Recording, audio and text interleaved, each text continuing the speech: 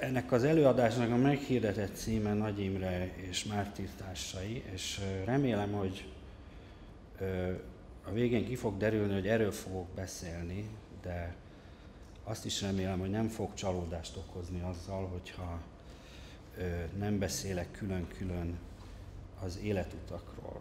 Egyrészt attól félek, vagy attól féltem, hogy ez egy beláthatatlan feladat lenne számomra, meg az időkeret számára is. Másrészt,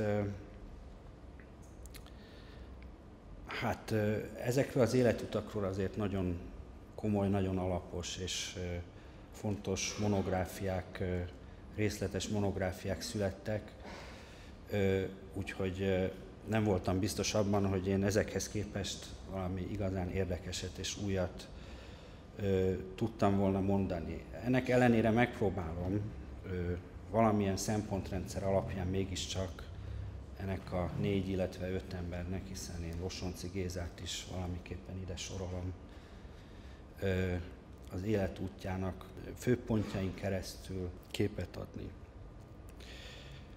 Kornis Mihály író Kádár utolsó beszéde kapcsán írott eszéjében, illetve könyvében, annak a végén arról ír, illetve arról beszél, hogy a 20. század egyik legnagyobb kihívása a akkor tevékenykedő politikus nemzedékek számára az erkölcsi integritás megőrzése úgy, hogy közben életben is maradjanak.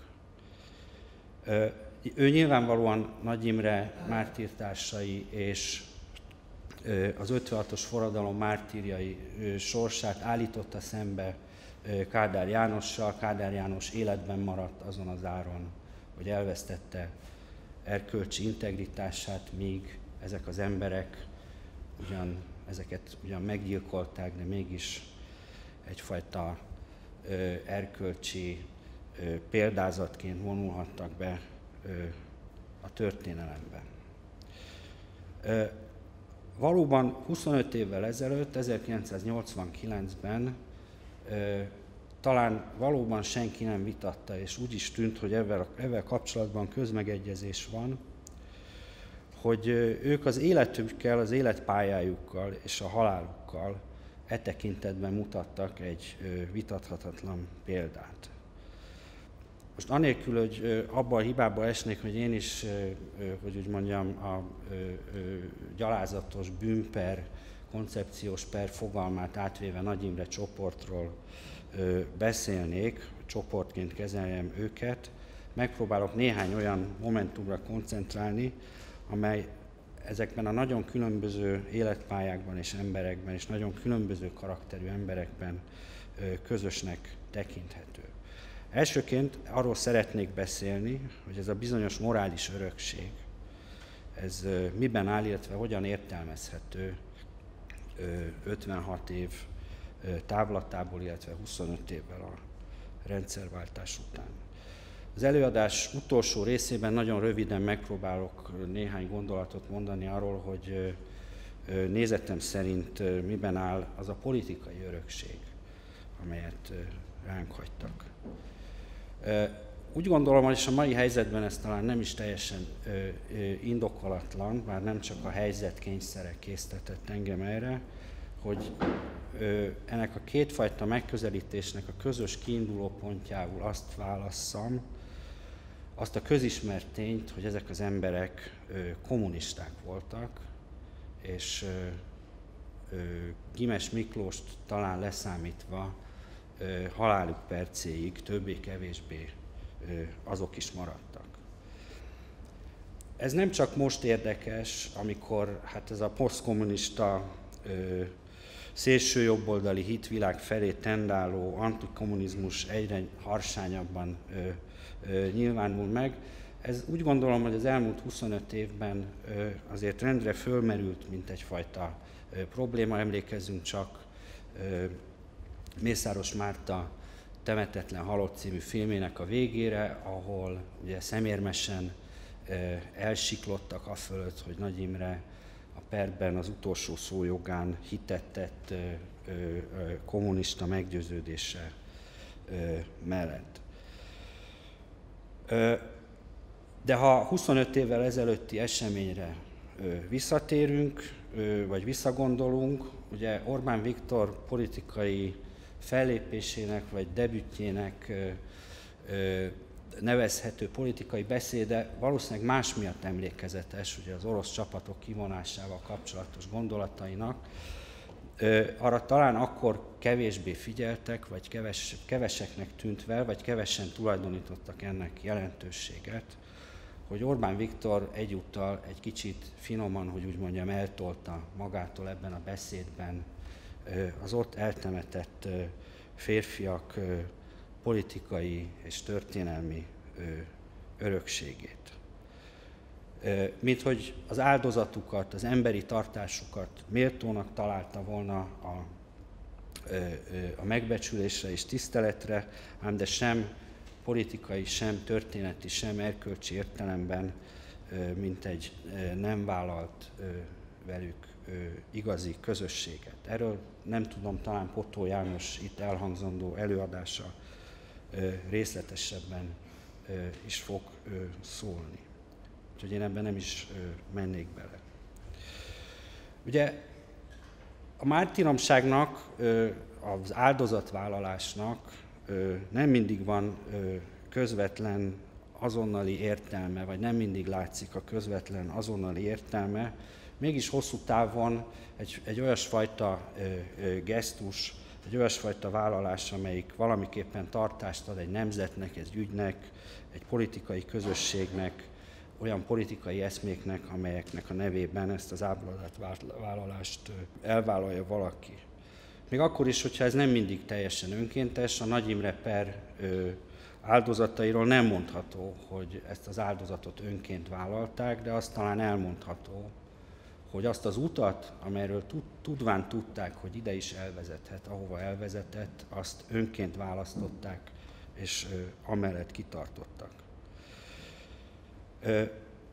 Különféleképpen viselkedtek, különféle karakter, különböző karaktereket mutattak ebben a szörnyűséges eljárásban, de az talán mindegyikükről elmondható, hogy az ügyük lényegét tekintve azt nem árulták el, és hát hadd idézzem itt Maléter Pál börtönből küldött üzenetét, miszerint hát persze mindent meg, megtesz, amit a becsület és a tisztesség megenged, de annál többet nem.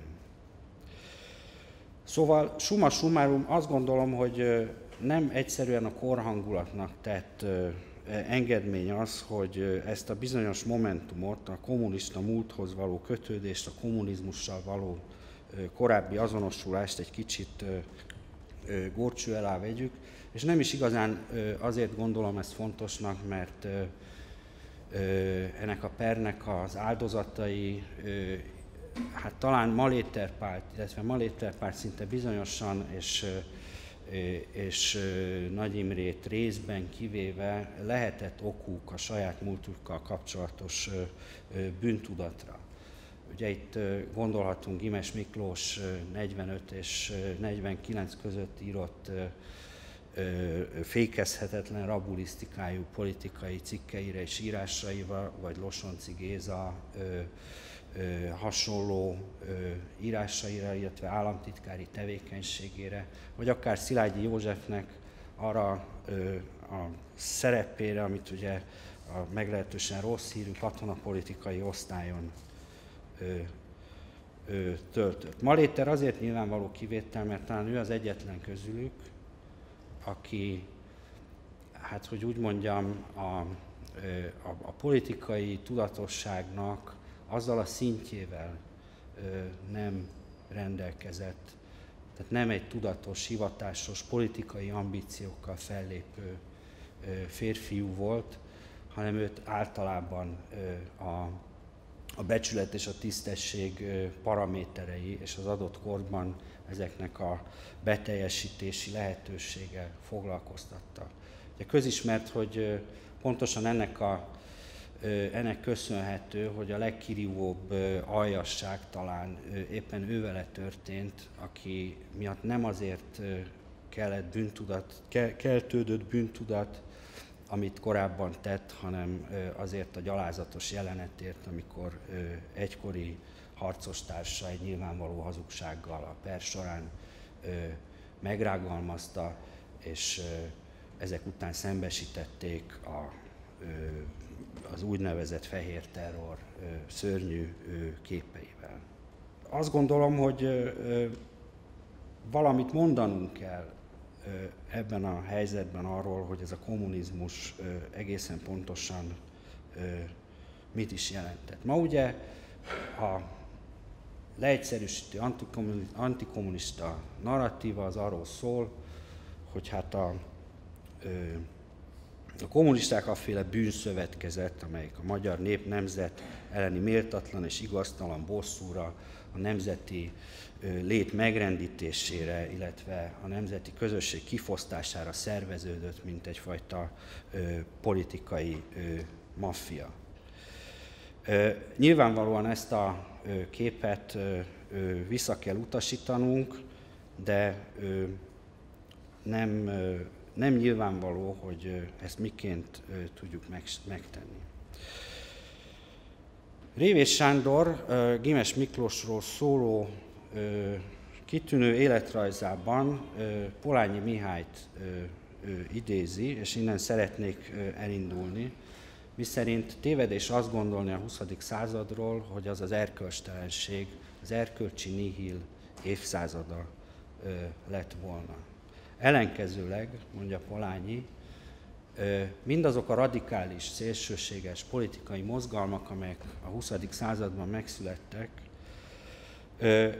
egyfajta erkölcsi felbuzdulásból, felháborodásból, egy nagyon radikális erkölcsi elvárásrendszerből és várakozásrendszerből fakadtak. A század paradoxona éppen az, hogy ez a morális lázadás vezetett a, század legsúlyosabb rémtetteihez. És ö, gyakran vezette a kor legjobb és legbecsületesebb elméit is, a, ö, ö, ha csak időlegesen is a sötét oldalra.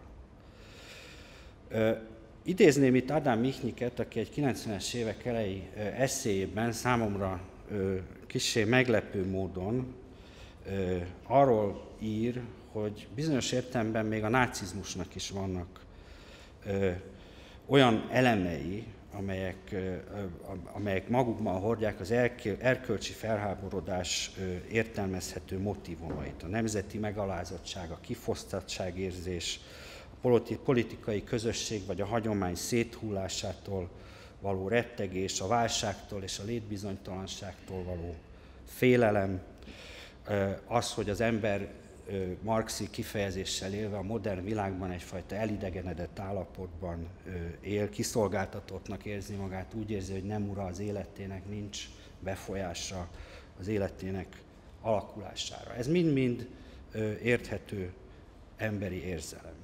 Ezzel természetesen nem azt akarom mondani, hogy a nácizmusnak van erkölcsi méltósága, hanem csak azt, hogy azok a félelmek és vágyak, amelyek emberek tömegeit lökték a nácizmus hipnózisába, erkölcsileg is értelmezhető emberi érzelmek. Vannak, akik ezt valahogy itt be is fejeznék ezt a dolgot, hiszen az egyik szélsőség, ugye sokan halljuk, sokat halljuk mostában magasabb politikai és rendszerű értelmiségi közök, körökhöz, hogy hát a kommunizmus is egyfajta ilyen igézet, tévút, bűnös tévút lehetett, ezek végül is egy kalap alá tartoznak, sőt jellegüket tekintve tulajdonképpen ugyanazok, a nyilasok átöltöznek kommunistának, vagy visszaöltöznek, ahogy éppen a sors hozza. Ez a két szélsőség rokon, és hát az igazi nemzeti demokraták, stb. stb. hát mind a két oldaltól hát távol tartják magukat. Ez azonban véleményem szerint elhamarkodott következtetés, és most megpróbálom elmagyarázni, hogy miért gondolom ezt, és ez talán arra is rávilágít, hogy Nagy Imrének és társainak miért volt lehetősége, miért volt számukra lehetséges a visszaút az erkölcsi integritás világába, vagy hogy alkalomhoz illő pünkösdi hangulatban azt mondhatnám, hogy hogyan tudták megmenteni a lelküket. Kende Péter, azt hiszem ez, a, ez egy majdnem 40 évvel ezelőtti írás, ha jól emlékszem, a lehetséges a demokratikus kommunizmus. Ö, ö, azt írta, hogy a kommunizmus kiinduló pontja ö, az, hogy úgy mondjam, univerzális erkölcsi kívánalmakból, ö, kívánalmakra épül. Ilyen az egyenlőség és az igazságosság eszméje, és ezek az erkölcsi elvárások vagy kívánalmak szinkronban vannak a modern ö, civilizáció évezredes ö, elvárásaival. Ezzel szemben mondhatnánk, vagy mondhatjuk, a nácizmus az egyfajta partikuláris premisszarendszerből indul ki, ezért morálisan értelmezhetetlen elő, előfeltevéseket szervez rendszer és ültet át a gyakorlatba.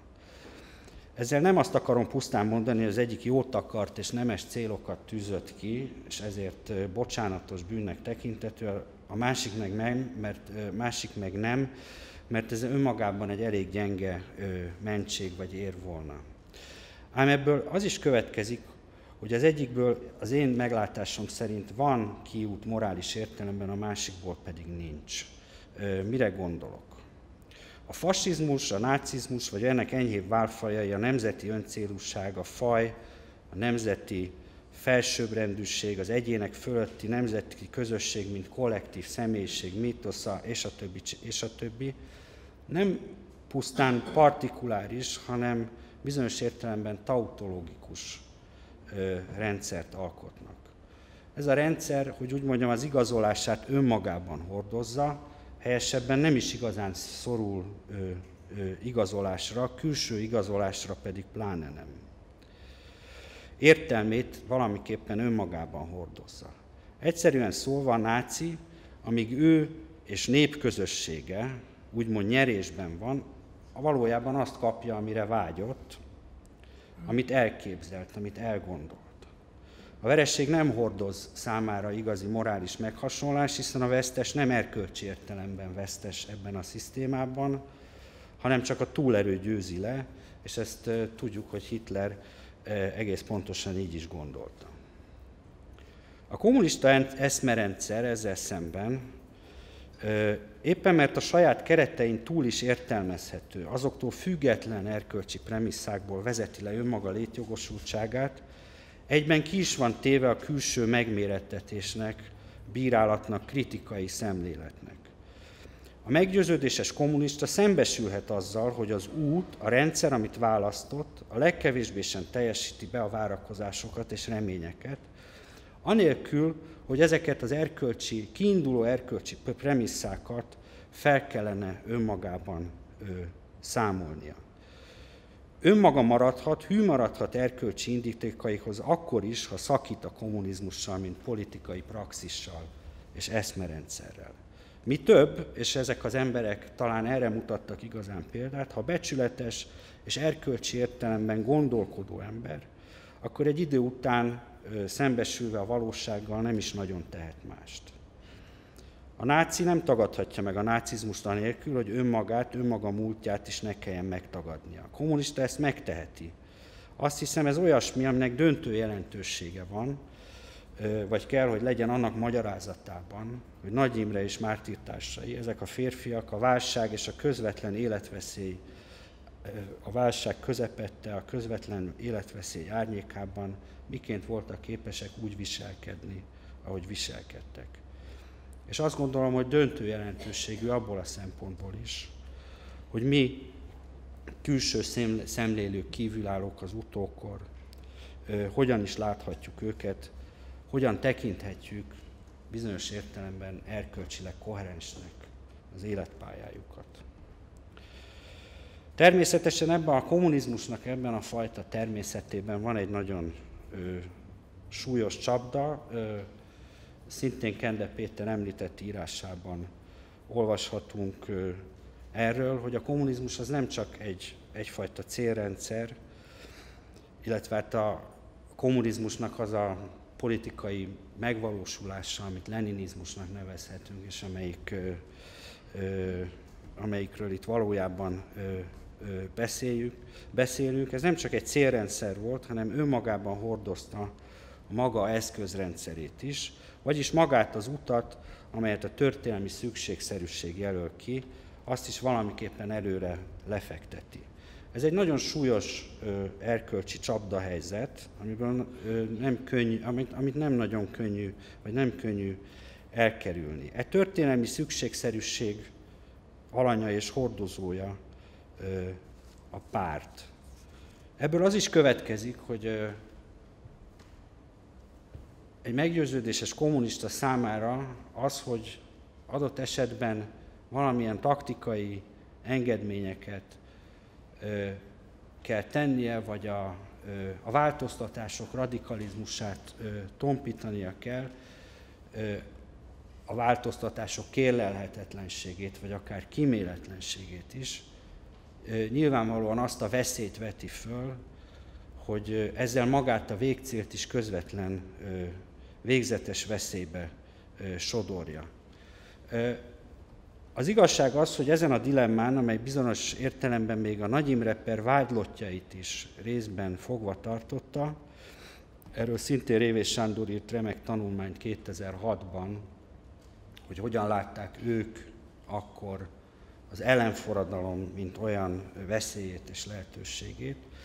Ezen a dilemmán valószínűleg sokkal nehezebb túllendülni, mint szembesülni a sztálinista hatalomgyakorlás mindennaposan, bár nem mindennapi bűneivel.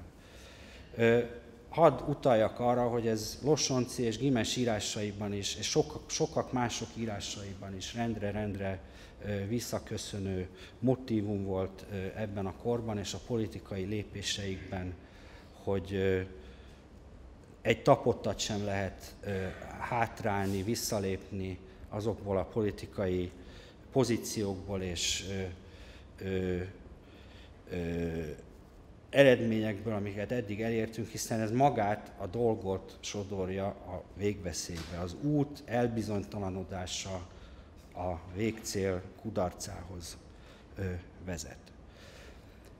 Szóval ez egy nagyon erős csapda, de úgy gondolom, hogy ez is valamiképpen egyfajta kiutat is, illetve az annak lehetőségét is felvillantja, de ennek, ha még van idő, egy kicsit messzebbről futnék neki. A Nagy Imre per áldozatai kapcsán két generációról beszélhetünk, helyesebben egy generációról és Nagy Imréről, hiszen a másik négy áldozata mártírja pernek, mind, mind, mindannyian, ez majd, hogy nem számisztikai összefüggés 1917-ben születtek. Tehát különböző időben váltak kommunistává, és különböző pályát futottak be, de mégis azt gondolom, hogy ezekben a pillanatokban, amikor a kommunista eszmerendszer magukkal ragadta őket, ezekben nagyon sok hasonlóság volt. Ugye szokás azt mondani, hogy a kommunizmus és a fasizmus is a lövészárokban, az első világháború pokoli csataterein és lövészárkaiban született. Ehhez azt tenném hozzá, hogy ugye az emberek, amikor hogy úgy mondjam, politikai öntudatra tesznek szert, vagy ébrednek, vagy felkér bennük ez a bizonyos ambíció, hogy politikai eszközökkel, vagy politikusként is valamiképpen belenyúljanak abba a világba, amely körülveszi őket. Rendszerint a rendelkezésre álló politikai eszmerendszerek készletéből választanak, hiszen kevesen vagyunk azok, akik nagy rendszeralkotó elméknek tekinthetők. Sem Nagy Imre, sem társai nem tartoztak ezek közé. Most, ha viszont azt nézzük, hogy körbe tekintünk, hogy mi volt ez a politikai választék, akkor például ugye az első világháború után ö, ö, rendelkezésre állt a status quo fenntartása, vagyis a nacionalizmussal vegyített nemzetállami kapitalizmusok, amelyek hordoztak többé-kevésbé, ki, ki többet, ki kevesebbet bizonyos liberális vonásokat.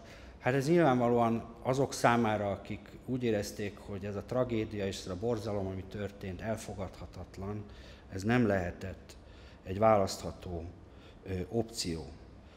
Aki viszont ezzel le akart számolni, az sem tájékozódhatott túlságosan sokfelé, és hát, hogy úgy mondjam, én azokkal vagyok megértőbb, azokkal az emberekkel, azokkal az akkori kortársakkal, akik a tragédiára és a kudarc, a, a bajokra az univerzális eszmék beteljesülésével kecsegtető kommunista eszmerendszert választották. Kérdés az, hogy egyáltalán miért kellett választani. Ennek természetesen vannak különböző személyiség magyarázata is, ugye a lázadó szellem, a Plátoni értelemben vett tümotikus selv, a kitűnés, hogy valamit, valamit kezdeni akarunk az életünkkel, nem akarunk belenyugodni abba, hogy minden, minden csak úgy fogadunk el, ahogy a világ létezik, de azt gondolom, hogy ennek nem igazán van itten túl sok jelentősége. Ehelyett inkább Lukácsra hivatkoznék, aki a kommunizmus erkölcsi alapjai című rövid szövegében, itt most erősen leegyszerűsítve mondom, valami olyasmit írt, hogy tisztességes ember azután, ami történt, nem maradhat tétlen és közömbös, és valami mást, valami radikálisan mást kell választania. Ebben a rövid szövegben az én számomra az a legérdekesebb, hogy Lukács egyáltalán nem írja, hogy ez a választás bizonyosan meghozza a várt eredményt, sőt, kételjeinek ad hangot. Ez ugye az az írás, amely néhány héttel vagy egy-két hónappal azután született, hogy a kommunizmus választását erkölcsi alapon ugye elutasította. Sőt, ebben a szövegben valami olyasmit ír, hogy ha ehhez a vállalkozáshoz nem társul egy teljesen újfajta etika, amelyik az emberek között elterjed, akkor könnyen lehet, hogy az egész az ellentetjébe fog fordulni. Mégis ez az egyetlen út, hozza fel érvként amellett, hogy miért kell erre fordulni, amely racionálisan végiggondolható esélyt kínál. És a bizonytalanság vagy a saját személyes erkölcsi tisztaságunk megőrzésének önző vágya nem gátolhat meg bennünket abban, hogy erre az útra lépjünk. Még ha nem is tudjuk biztosan, mi lesz, lépnünk kell. Nem kell ezzel azt gondolom egyetérteni ahhoz, hogy megértsük, miért vonzott annyi embert szinte mágikus erővel ez a gondolat és ez a logika. Amikor a következő, az 1917-es nemzetéket magához fűzte a kommunizmus, ez jellemzően vagy a 30-as évek második vele, vagy pedig 1945 után, tehát a második világháború utáni szellemi és politikai közeg, akkor ugye mind a két esetben valami nagyon hasonló helyzettel állunk szemben, amit ráadásul megfejel ugye a, a 30-as években már a hitleri Németország árnyéka.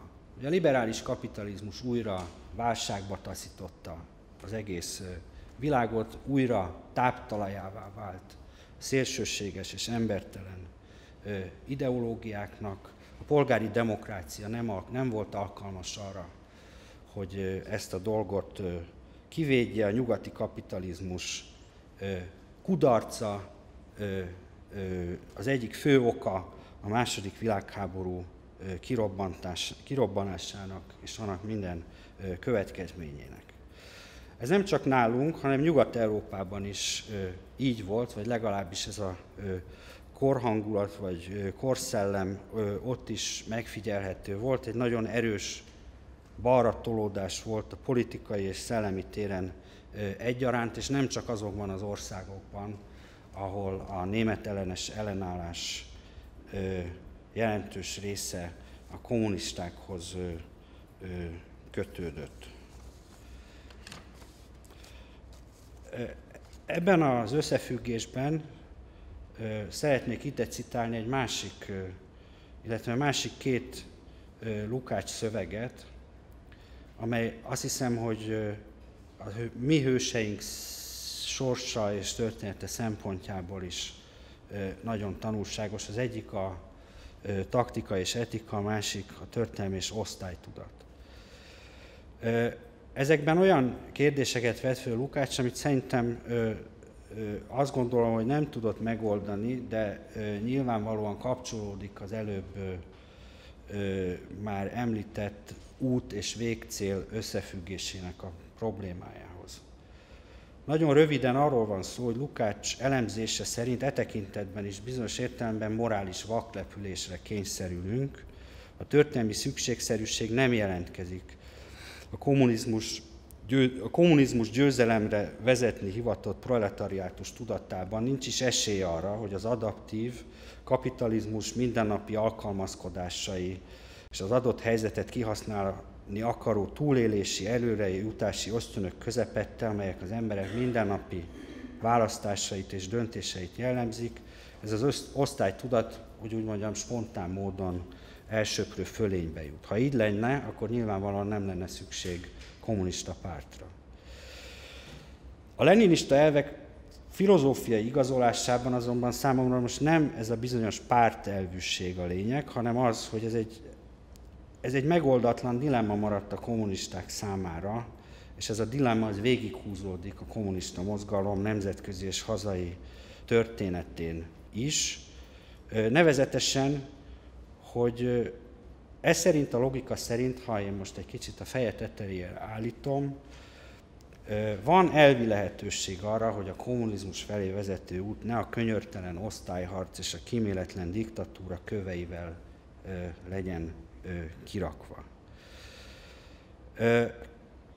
A magyar kommunista mozgalom történetében ennek hol látható, hol inkább látás módon ennek a dilemmának az egyik legfontosabb hordozója éppen Nagy Imre volt, és talán nem véletlen, hogy 1956-ban éppen azok csatlakoztak hozzá, akik a 30-as években vagy a háború után valamiképpen mégis ö, ö, hát fogékonynak mutatkoztak, akár a márciusi front, akár a népfront, akár a ö,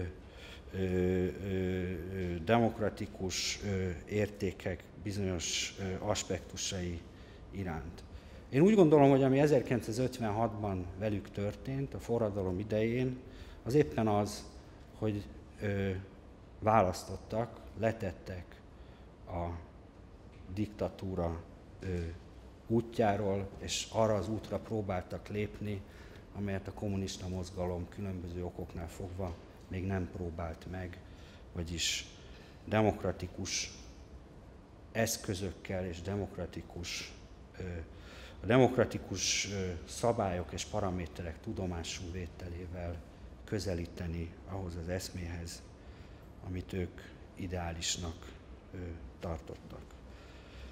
Ami a politikai örökséget illeti, ma úgy tűnik, hogy 56-nak nincs tovább élő politikai hagyománya. Ugye a lehetséges a demokratikus kommunizmus kérdésére, hogy már harmadszor térjek vissza erre a szövegre, nagyjából többé-kevésbé szerintem a teremben ülők is ö, azt válaszolnák, hogy egyelőre ez a lehetőség ö, nem igen látszik. Ö, annak ellenére, hogy 25 évvel az 1989 rendszerváltása után ezzel a 25 év ö, valóságával és tapasztalatával talán nem kevesekben merül föl, vagy egyre többekben merül föl a gondolat, hogy a liberális demokrácia és kapitalizmus legalábbis az a válfaja, amelyik a, ebben a régióban, illetve ebben az országban megvalósult, valamiképpen újra gondolásra szorul.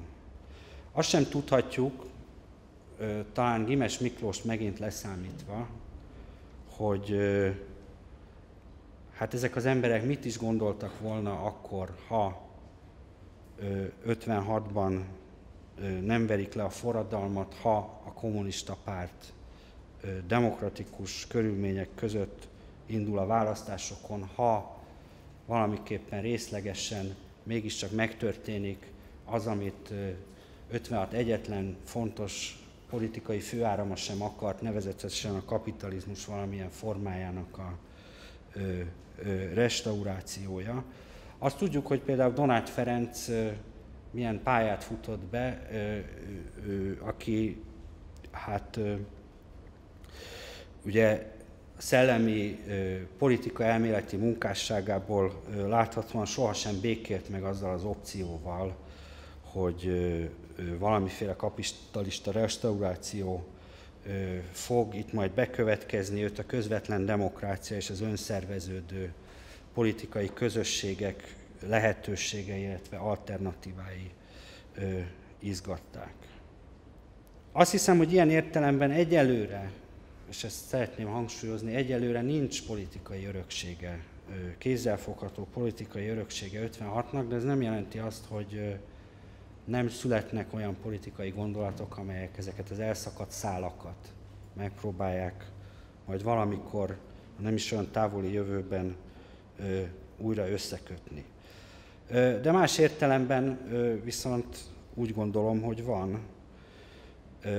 Az előző évszázadban talán Nagy Imre és társai kormánya, értelmiségi közege volt az első, és sok tekintetben az utolsó is ebben az országban, amelyik nem félt a néptől, nem félt arra menni, amerre a népakarat ő, ő, hajtotta őket, nem félt azonosulni a népakaratban megnyilvánuló vágyakkal és követelésekkel, és a nép sem félt tőle. Ez úgy gondolom egy olyan politikai teljesítmény, amit tartok tőle még nagyon sokáig nem fogunk túlszárnyalni. Köszönöm szépen! Thank you.